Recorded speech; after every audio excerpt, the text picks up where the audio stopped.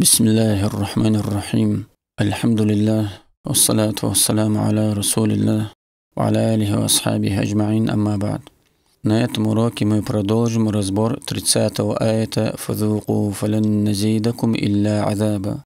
«Вкусите же, мы не добавим вам ничего, кроме мучений».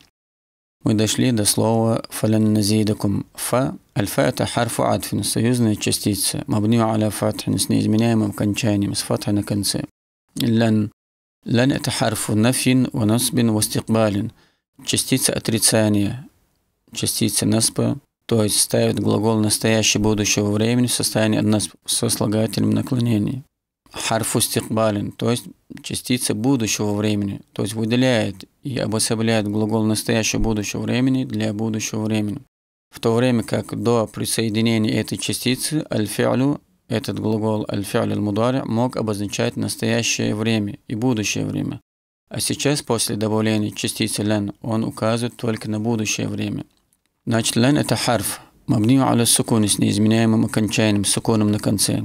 Назида это фи'люн мударин, глагол настоящего будущего времени. Мансубун билан, поставлен частица лен в состоянии насб. Ва алямату насбихи, признаком состояния насб здесь является аль-фатхату захирату аля ахирихи, явная фатха над его окончанием.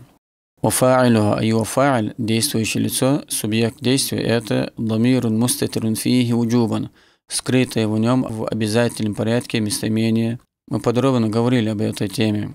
Это местоимение такдируху нахну, и этим скрытым местоимением является местоимение нахну, так как это форма первого лица множественного числа, на что указывает приставка нун, буква нун в начале этого глагола, назидакум. Назидакум, кум, Аль-каф – это дамирун мустатирун, слитное местоимение, мабниун аля дамми с неизменяемым окончанием с дома на конце. Фи махалли насбин на месте падежа насб. Мафуль бихи аулю – первое прямое дополнение для глагола назид. Вальмимус сакинату – асукунированный мим на конце этого местоимения. Это алямуту джами аль-мудаккари – признак множественного числа мужского рода. Мабниун аля сукуни – с постоянным суконом на конце, с неизменяемым окончанием. Илля адабан. Илля это в основе харфу ститнайн, частицы исключения. А здесь она это адатуль хасри, служит частице ограничения. То есть мы вам не добавим ничего, кроме мучений. Значит, добавка ограничена мучениями. Заключается только в мучениях. Илля это харфун, мабниун аля сукуни, с неизменяемым окончанием, сукуном на конце.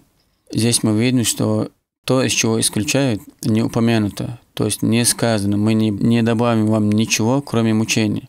То есть не сказано «фалян назидакум шей'ан илля азабан». Мы не добавим вам ничего илля азабан. Слово «ничего» шей'ан не упомянуто.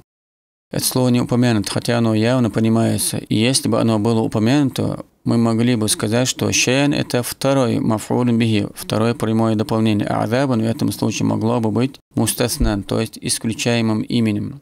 Или бадаль, или заменой, приложением для слова шей'ан. И раз здесь то, из чего исключать не упомянуто, то есть слово «шея» не упомянуто, значит частица «илля» никак не воздействует на окончание, как будто ее нет. Поэтому глагол назида воздействует на окончание слова «азаба» напрямую в качестве своего маф'улун бихи thанин, второго прямого дополнения, как это и бывает в подобных случаях, когда аль-мустасна минху, то есть то, из чего производится исключение, не упомянуто. В этом случае имя, которое приходит после частицы «илля», будет иметь падежную огласовку в зависимости от амиля, от фактора, предшествующего частице «илля». А что касается самой частицы «илля», то как будто ее нет. В этом случае имя, стоящее после «илля», будет находиться только в отрицательном контексте, как мы видим здесь. У нас вначале находится частица отрицания «лян». Это то, что называют калямун накусун, манфиюн. يعني ولا يكون إلا منفيا Значит, азабан это маф'улун бихи thанин, второе прямое дополнение для глагола назиду. Мансубан бильфали, поставлен этим глаголом в состоянии нас винительный падеж.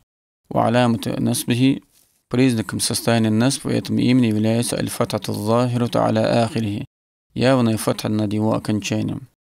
Здесь уместно будет сказать, что глагол зада езиду может быть мутааддин, а может быть и лязимым, то есть переходным и непереходным. А когда он бывает переходным, он имеет сразу два маф'уль два прямых дополнения.